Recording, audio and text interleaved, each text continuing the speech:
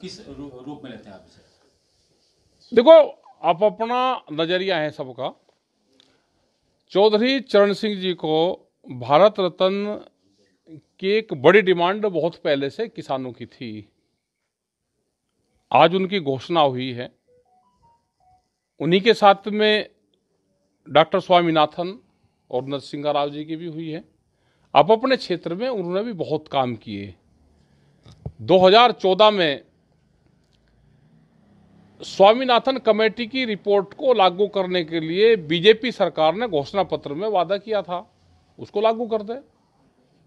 तो भारत रत्न से जो सम्मानित हुआ है, उनके अगर विचारों को भी सम्मानित कर देंगे हम, उनकी योजनाओं को भी सम्मिलित कर लेंगे तो डबल खुशी हो जाएगी। दो बार धन्यवाद दे देंगे। राकेश भाई, ये जयंत चौधरी जो है, वो एनडीए में शामिल होने जा रहे हैं। उसे किस रूप आप लेते हैं? फ़ायदा होगा, नुकसान होगा, आप कैसे लेते हैं? क्योंकि किसान राजनीति वो भी करते हैं, आप भी किसान राजनीति करते हैं। नहीं, हम तो इलेक्शन नहीं लड़ते। जयंत जी इलेक्शन लड़ते हैं। उनको वहाँ पर जाने में ज़्यादा फ़ायदा होगा तो वहाँ चले गए।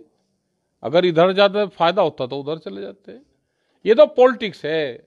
वोट सब वोट की तलाश में है। भारत सरकार की वोट की तलाश में भाई दूसरे भी किसको कहाँ से फ़ायदा होगा वो वहाँ अपना चला जाएगा। नहीं आप समर्थन करते हैं राष्ट्र हम हमारा कोई देखो हमारा हैं। मैं नहीं लड़ना चाहिए। किसान के मुद्दे तो सभी लोग लड़ रहे हैं लड़ना चाहिए।